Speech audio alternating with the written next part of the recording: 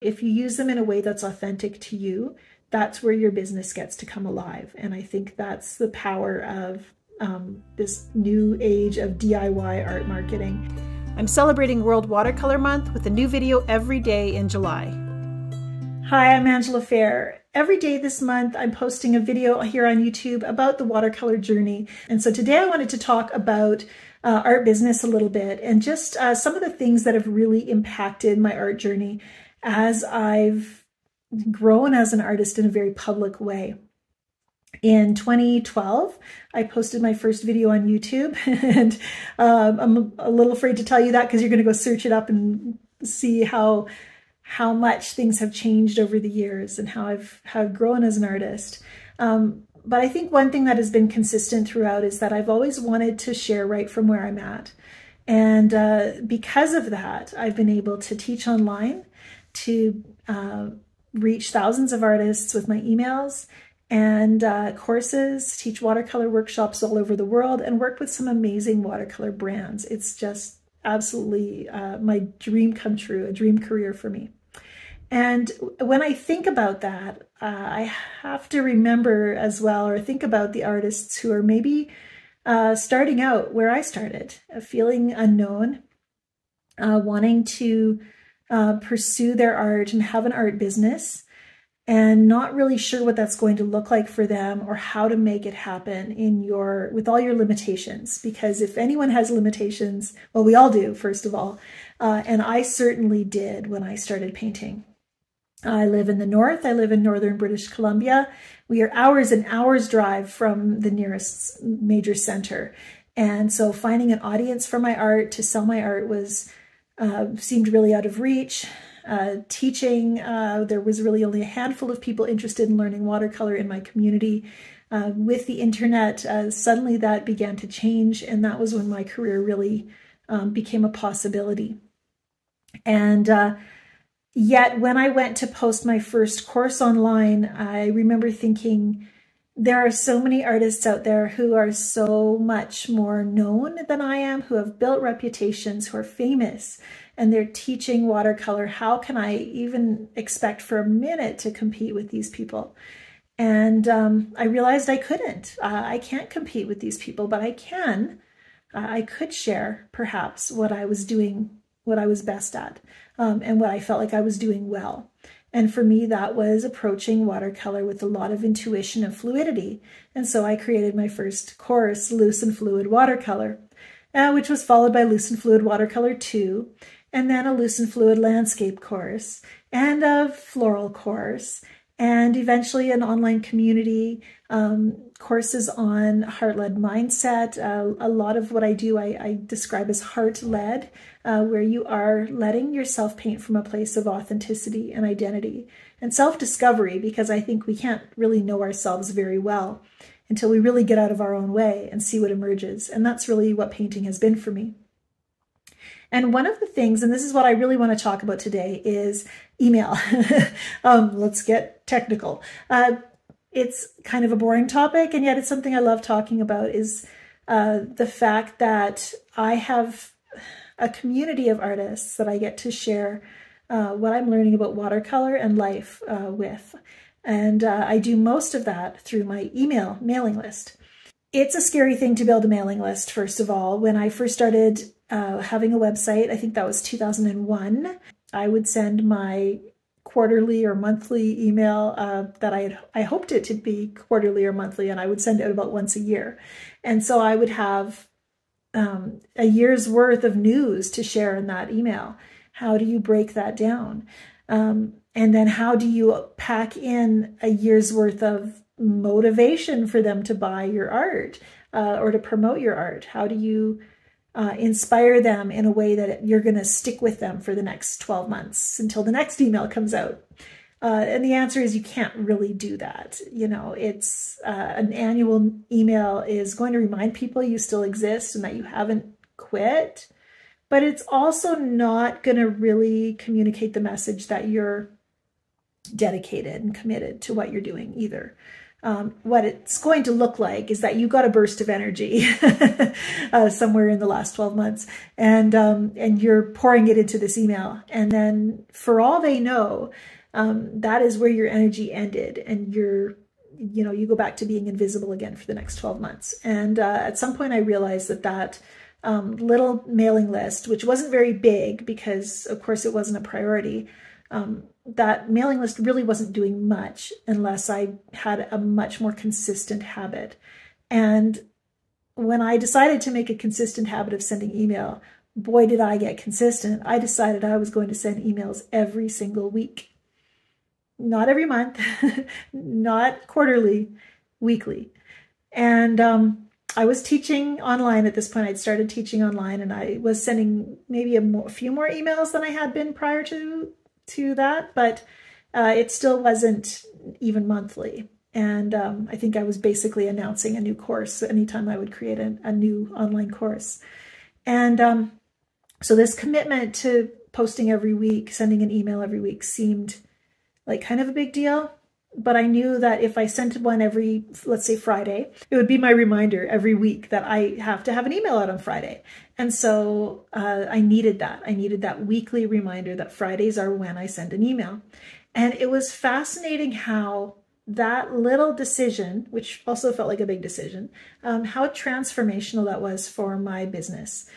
Uh, rather than needing to pack a year or a month's worth of information into one email, I could send out a bite, uh, just a little chunk of info. Um, I could share one thing that I'd been thinking about, or one product that I wanted to promote, or one painting that I'd finished. And I knew that I'd have another chance in the next week to say something else. And so it became very relational. Um, you know, much like the way my sister and I talk on the phone at least weekly. Uh, you know, we have a relationship that is um, built on knowledge, knowing each other. Um, we've established uh, a relationship that has a lot of common ground and a background and and things that we know about each other because we've invested the time. And my email mailing list began to feel like that as well.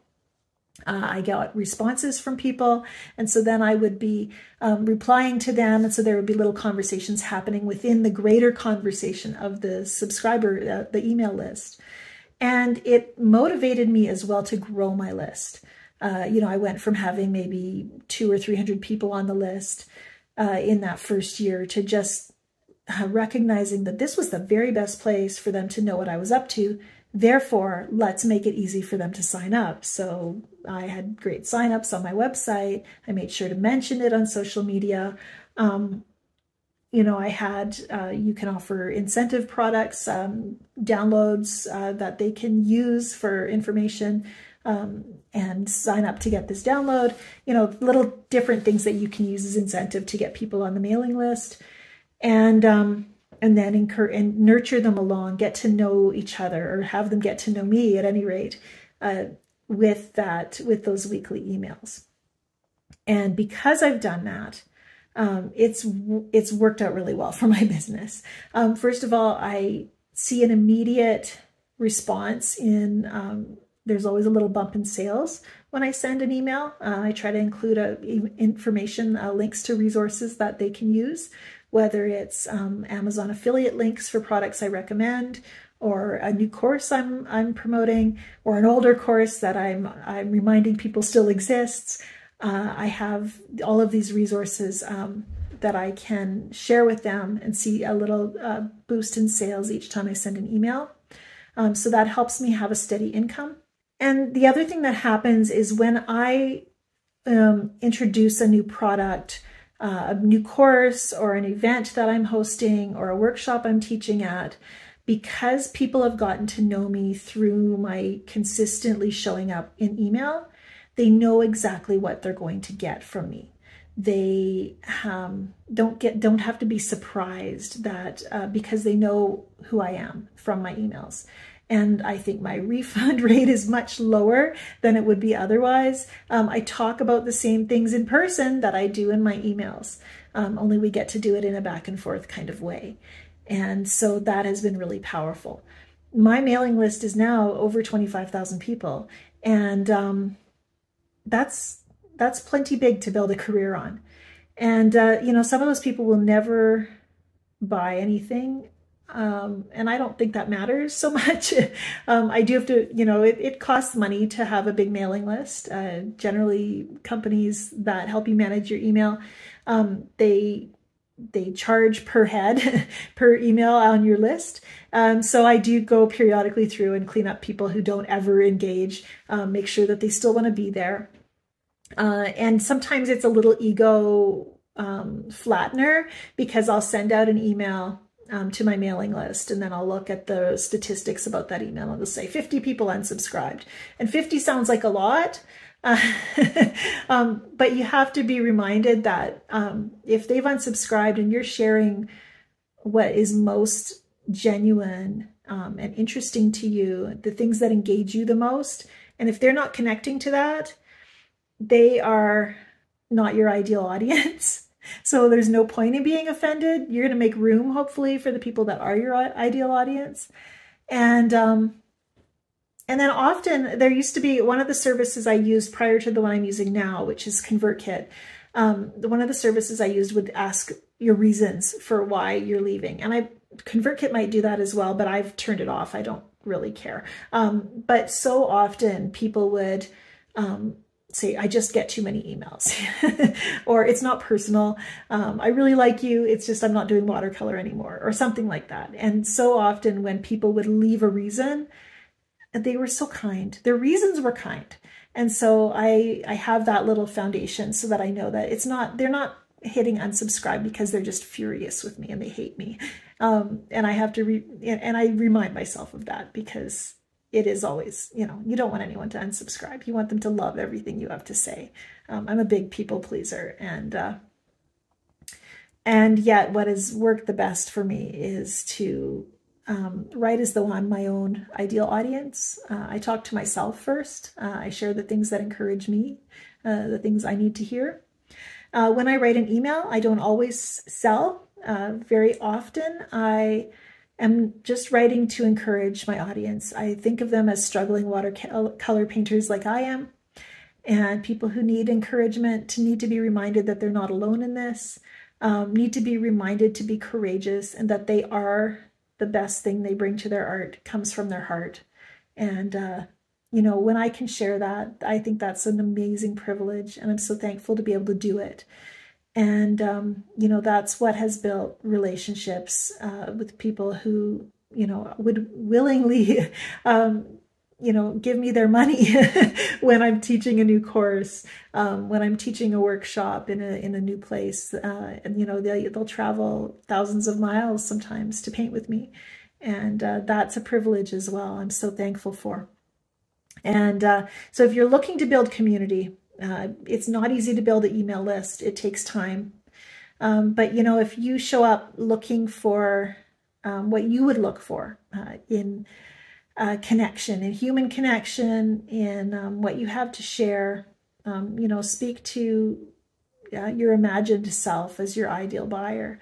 Uh, that's a really good place to start because you're going to find people who align with your values and uh, they're they want they want to connect with you on that level. Um, it's a really genuine level. It means a lot, and uh, we get to do that as artists. I think that's pretty wonderful. Uh, if you have, uh, if you're curious about uh, starting a mailing list, uh, what I would encourage you to do is visit convertkit.com. They actually do a pretty fantastic job of teaching people how to use their product uh, with a small mailing list, if you're just getting started, um, don't be discouraged. Now is the best time to start. If you couldn't start yesterday, and um, they'll they they have a great the great beginner rate for someone coming in with basically no no names on your mailing list.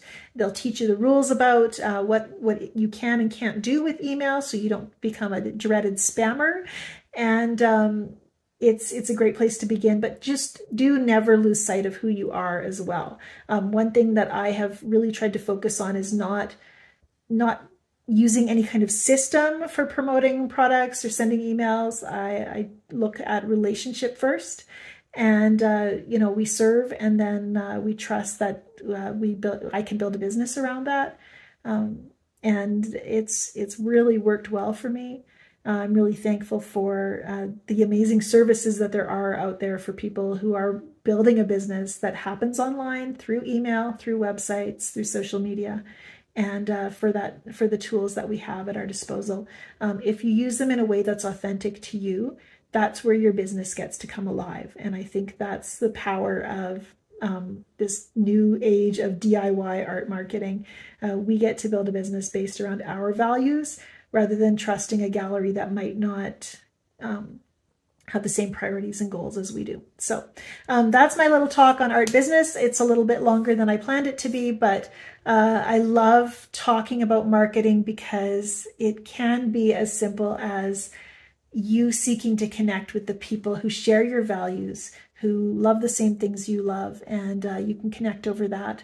And uh, it can, uh, it has worked for me to create a business out of that. Um, it it's very relational and uh, it's kind of freeing to be able to create a business model that's all about what you find most important. Uh, thanks for watching. I am sharing videos every single day here during July uh, in honor of World Watercolor Month. Uh, come back tomorrow. Uh, we'll probably be doing some painting and uh, rather than just sitting around gabbing. But uh, do let me know in the comments below if you work with email for your business. if you have questions, I'm happy to take a look and offer some suggestions if you have some specific questions.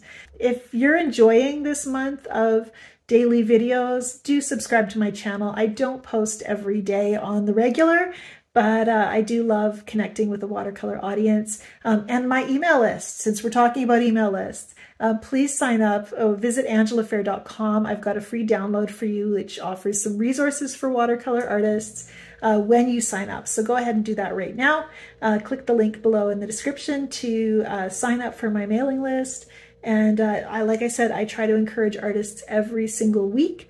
And I'd love for you to be on that list and, and feeling that encouragement too. Bye for now. Thanks for watching. I'll be back tomorrow with more watercolor advice you can learn from. Don't forget to include the hashtag World Watercolor Month when you participate and post watercolor art in July.